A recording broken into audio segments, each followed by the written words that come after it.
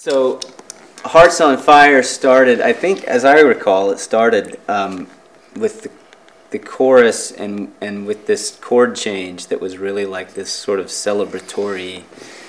It's kind I- of an epic Prozac tune in a way, you know, like uplifting mood kind of thing. Yeah, then a celebration of life, and then I Yeah. and, and then but I think the verse became kind of about the tendency that we have sometimes to withdraw into ourselves and and get locked into that, and how and how sometimes you just need that you just need that reminder. If it's from a friend or you know a lover or whoever it's from, that there's the world is this incredible thing, you know, and and to just come out and kind of live your life. Yeah.